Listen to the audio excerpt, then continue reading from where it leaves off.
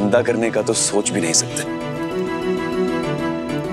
लेकिन क्या इतनी सुबह आँख खुल जाएगी आपकी? कल दरबार का पहला मुद्दा यही होगा। आँखें खुल चुकी हैं दाजी। और अगर आपको यकीन ना हो बहुत जल्दी सबूत भी मिल जाएगा।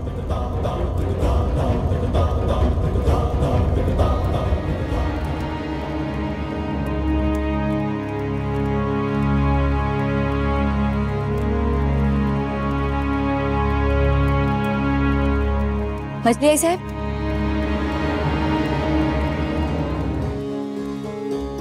मुझे आपसे बात करनी है। आपको यही लगा ना कि छोटे सुबेदार जी नशे में हैं। नाटक कर रहे थे वो, मुझे चिढ़ाने के लिए। लेकिन ठीक है, आपने उसे सच समझ लिया। फिर सासूबाई को बुलाने की क्या ज़रूरत थी? अगर आप छोटे सुबेदार जी की भलाई चाहती है तो आप आगे बढ़कर उसे रोक सकती थी। आप बड़ी है, हक है आपको। पर माँ बेटे के बीच गलतफहमी पैदा कर गलत फहमी गलत फहमी नहीं अहिल्या, गलत कह रही हो तुम। माना कि खंडेराव ने शरारत की तुम्हें छेड़ने के लिए। ढोंग किया नशे में होने का।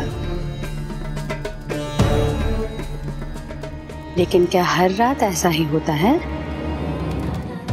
नहीं ना? तो ये तेवर हमें मत दिखा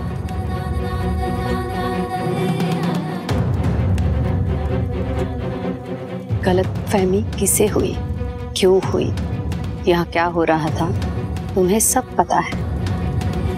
अपने पति की जिन हरकतों को छुपाने की कोशिश कर रही हो तुम अहिल्या, वो हमेशा छुपे नहीं रहेंगे। ध्यान रहे।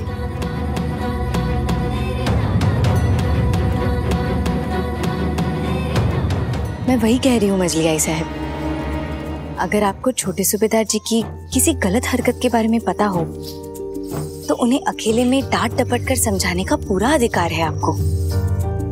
लेकिन इस तरह बात को सबके सामने लेकर आना। उससे सिर्फ़ छोटे सूबेदार जी की नहीं, पूरे परिवार की छवि बिगड़ सकती है। सच्ची बात तो कड़वी ही लगेगी ना, अहिल्या। और फिर जिस चीज़ की बुनियाद ही कमज़ोर हो, उस पर ज़्यादा वज़न डालने से इमारत का संतुलन तो बिगड़ ही जाएगा ना। क्या कर सकते हैं?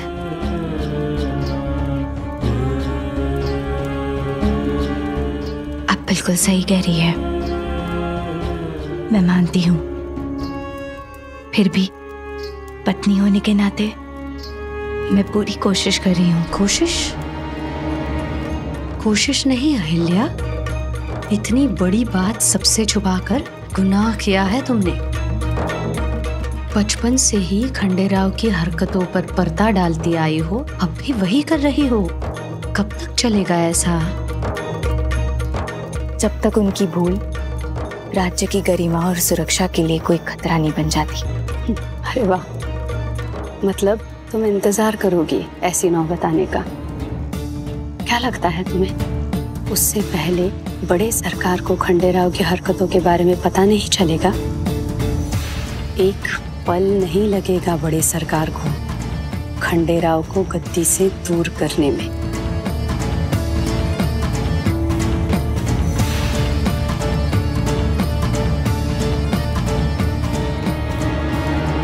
जब तक मैं हूँ। ऐसा दिन आने नहीं दूँगी। मालवा को संकट में देखकर, प्रजा के भलाई के लिए सबके बीच जाकर खड़ी हो जाऊँगी। फिर चाहे वो आप हो या कोई और।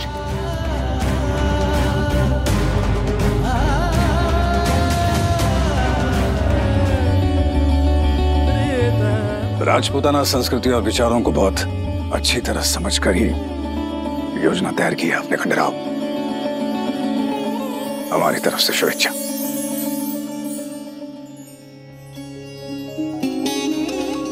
सिर्फ़ बारह दिन रह गए हैं इस मुहिम के लिए। आप अपनी योजना के अनुसार काम शुरू कीजिए। अगर किसी भी तरह की ज़रूरत पड़े तो हमारे पास आ सकते हैं। कभी भी, किसी भी समय।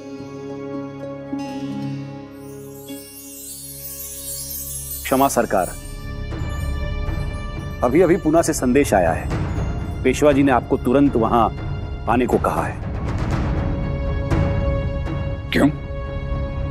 ऐसी क्या बात हो गई? सरकार इस बात का उल्लेख संदेश में करना उन्होंने उचित नहीं समझा। लेकिन समस्या गंभीर हो सकती है। आपका वहाँ होना बहुत ज़रूरी है।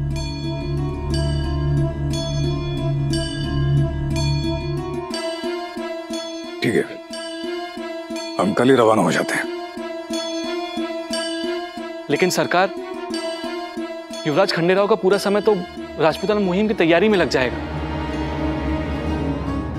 अगर ऐसे में आप भी यहाँ नहीं होंगे तो प्रशासन का पूरा काम वो खंडेराव सब संभाल लेंगे।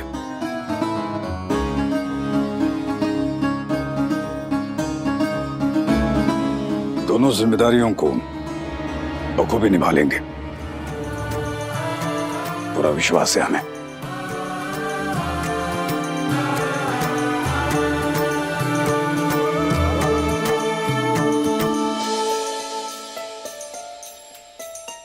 दोनों जिम्मेदारियों को बखूबी निभा लेंगे। पूरा विश्वास है हमें।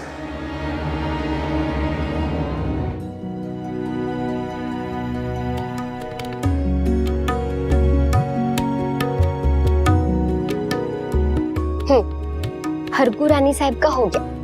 अब? अब ये है तुकोजी भाऊजी के लिए ये कुनूजी दाजी के लिए और ये धनाजी काका।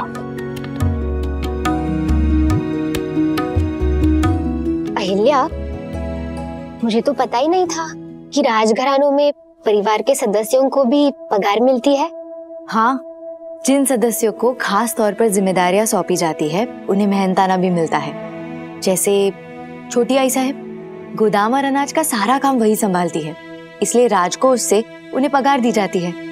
तो कोजी भावजी गंगूबा काका, सभी के अलग अलग कार्य क्षेत्र है, उस हिसाब से उन्हें भी पगार मिलती है।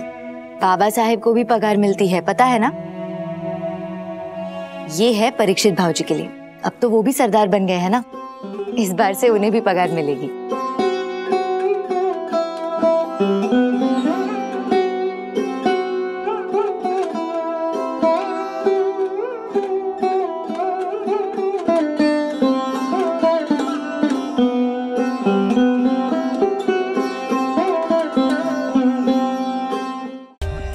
For more updates, subscribe to our channel, click the show links and enjoy watching the videos.